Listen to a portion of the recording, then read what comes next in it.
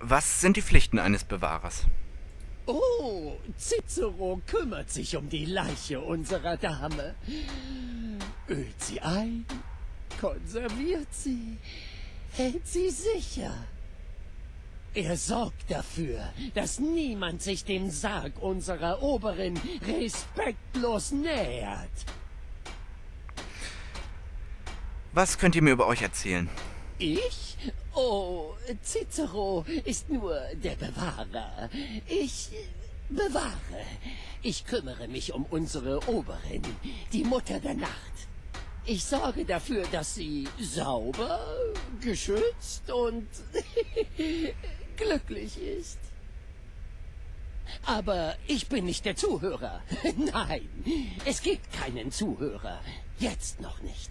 Aber eines Tages, eines Tages, eines Tages, so hoffe ich, wird sie jemand hören. Die Worte. Der Zuhörer? Welcher Zuhörer? Oh, nun, der Zuhörer ist die einzige Person, zu der die Mutter der Nacht spricht. Es ist die höchste Ehre, die einem Mitglied der dunklen Bruderschaft zuteil werden kann. Natürlich ist unsere Gebieterin tot, also spricht sie nicht durch Worte. Ihre Lippen sind verwest.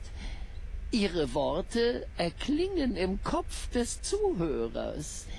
Ich hörte, es ist eine innige Erfahrung. Aber es gab schon seit vielen Jahren keinen Zuhörer mehr.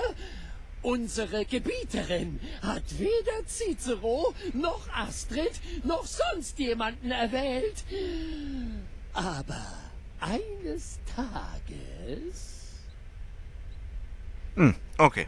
Mehr kann er auch nicht sagen. Bis zum nächsten Oh ja, Herrin. Ihr seid der Boss. Fürs Erste fürs Erste. Das kam ja jetzt irgendwie noch durch das Gespräch von eben. Na, was hat er vor? Ja, vielleicht hat Cicero was noch in... Finde ich ein Federtier, so wird's getötet. Zwei, drei, vier. Ah ja. Ach ja, der Auftrag, der Auftrag, der Auftrag. Ah, ich muss erstmal Bericht erstatten. Das... Da muss ich... Ich glaube, ich gehe mal hier lang. Bericht erstatten.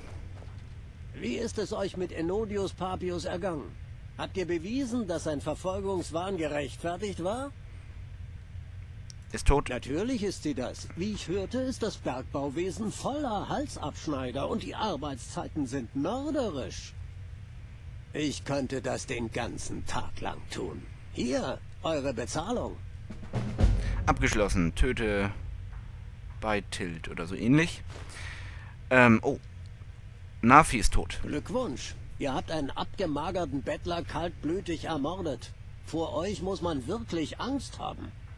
Hier habt ihr eure Bezahlung. Hm. Ja, vor uns muss man Angst haben. Und äh, Papius ist tot. Gut. Ich hoffe, ihr wart in dieser Holzmühle vorsichtig.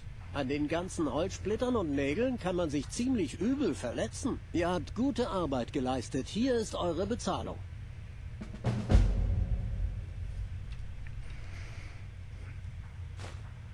Jo. Habt ihr noch mehr Aufträge? Habt...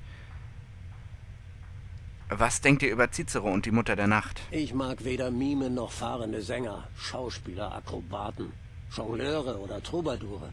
Und von Flötenmusik kriege ich Kopfschmerzen.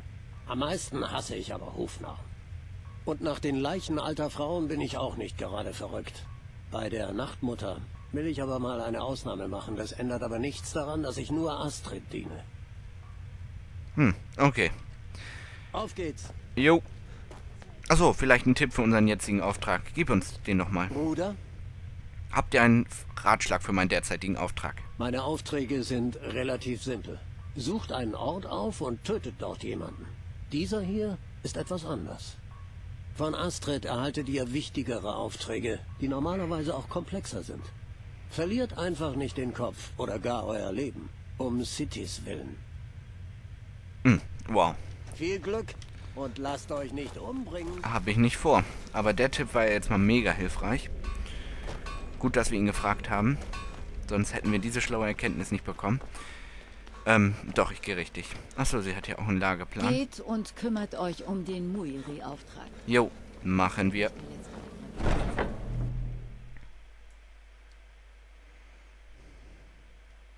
Astrid ist die Herrin der Zuflucht der dunklen Bruderschaft und ihr Wort ist Gesetz.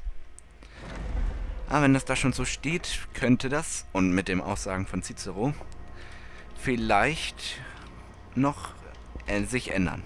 Also ist jetzt so meine Vermutung, wie die Geschichte so weitergehen wird. Wo wollte ich jetzt hin? Wo ist der Fall? Muss ich das erst aktivieren? Ja. Oben rechts, oben links meine ich. Denn nach Markart. Manche glauben, ach, das ist ja schon, das haben wir schon x-mal gesehen.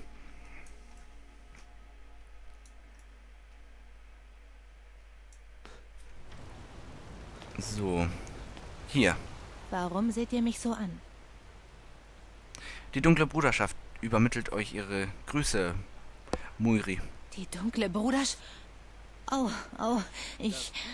Meine Güte, ihr seid wirklich hier. Das schwarze Sakrament. Es hat tatsächlich funktioniert. Offensichtlich. Sagt mir, was ist euer Begehr? Was ich brauche? Den Tod von Alain Dufont. Er soll zur Strecke gebracht und getötet werden, wie diese miese Ratte, die er ist. Ich brauche mehr als nur das, um weiterzumachen, weil... Ich brauche mehr als das, um weiterzumachen. Ich habe es nicht gewusst, als wir zusammen waren. Aber Alain ist tatsächlich der Anführer einer Bande Halsabschneider. Räuber!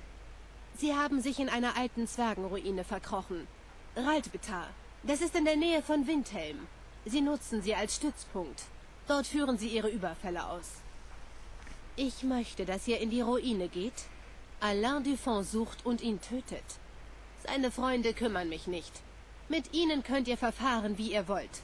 Aber Alain muss sterben. So soll's geschehen. Ausgezeichnet. Sobald Alain tot ist, bekommt ihr euren Lohn. In Gold. Ich habe eine kleine Summe gespart. Ich hoffe, sie reicht. Aber, nun ja, da ist noch eine Kleinigkeit, falls ihr interessiert seid. Ich bin ganz Ohr. Wenn ihr könnt, dann möchte ich, dass ihr noch jemanden tötet. Ihr müsst das nicht. Nicht als Teil unserer Vereinbarung. Aber wenn ihr es tut, dann zahle ich euch sogar noch mehr. Es ist Nilsine Schmetterschild in Windhelm. Wenn auch Nilsine stirbt, dann soll es euer Schaden nicht sein.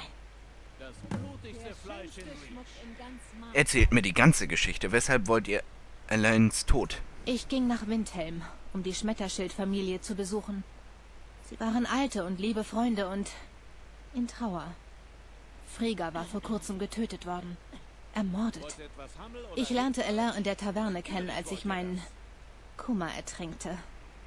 Er sah gut aus und war charmant. Er sagte, ich sei die wunderschöne Lilly seiner Träume. In Alains Gegenwart war es, als ob aller Schmerz einfach von mir abfiele. Aber er hat mich nur belogen. Er hat mich benutzt. Er hat meinen Ruf ruiniert, meine Freundschaft zur Schmetterschild-Familie zerstört. Wisst ihr, warum Alain in Windhelm war? Er hatte von Friggas Ermordung gehört. Er wollte sich mit der Familie anfreunden, mitten in ihrer Trauer, und hat sie ausgeraubt. Alain hat mich benutzt, um an meine Freunde heranzukommen. Und nun halten sie mich alle für eine Art Monster.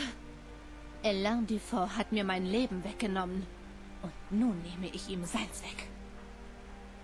Und Nilsine Schmetterschild, warum muss sie sterben? Versteht ihr denn nicht?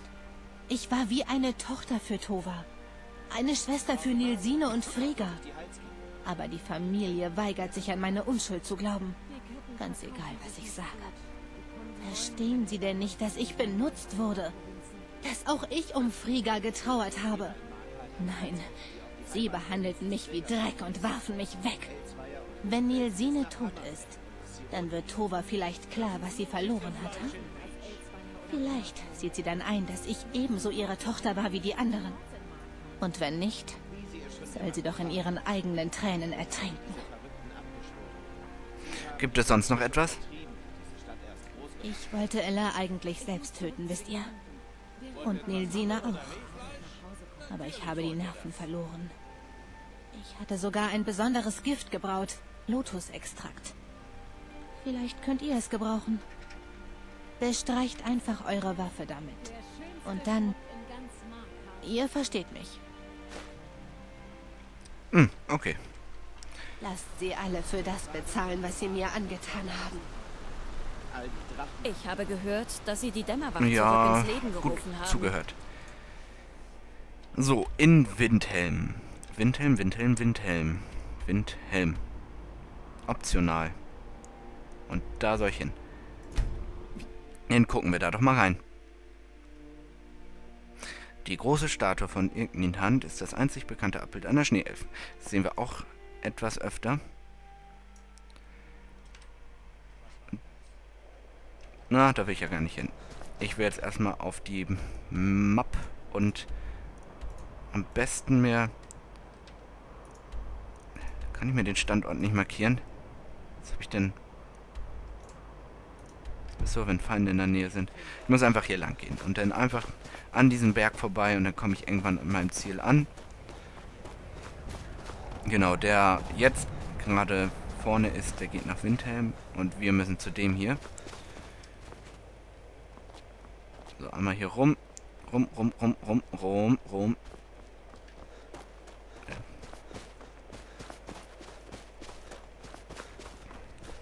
Das ist aber noch nicht, ne? An dem Punkt waren wir auch schon. Warum bin ich denn da nicht gespawnt? Großer Fahrstuhl.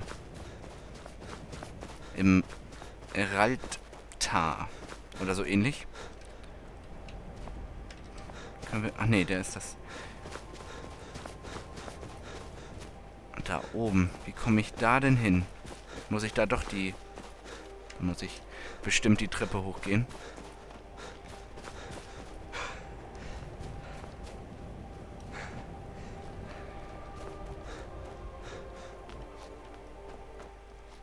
Genau, doch, ich muss die Treppe hochgehen. Oha. Hier ist nochmal eine große Festung. Von den Zwergen. Ach, das hatte sie ja auch gesagt. Stimmt. Ach, ey, ich dachte, der re will reden mit mir. Oh, das war einfach. Oh. Geht doch nicht weg.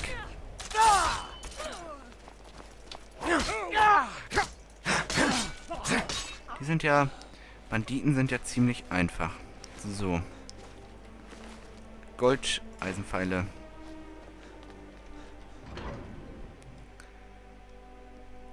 Dann prügeln wir uns da mal durch. Das ist ja gar nicht so ein... Also doch ein Auftragsmord, aber nicht so richtig mit irgendwie Hinterhalt und Schleichen. Das war ja... Na, kommt hier gleich ein... Das war gar nichts. Oh, wenn du so langsam aufstehst, dann hast du selbst Schuld. Wenn du stirbst. Oh, da wird er schön gerostet hier, der Skewer. Irgendwas Interessantes noch hier? Nee. Was? Ah, hab euch. Vorsichtig.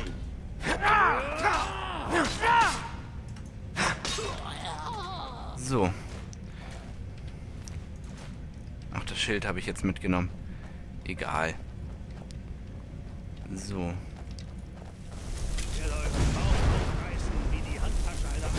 Na, ich, ich treffe nicht. Ich kann nicht zielen hier. Jetzt aber. Aber magiemäßig mache ich gar nicht so viel Schaden. So.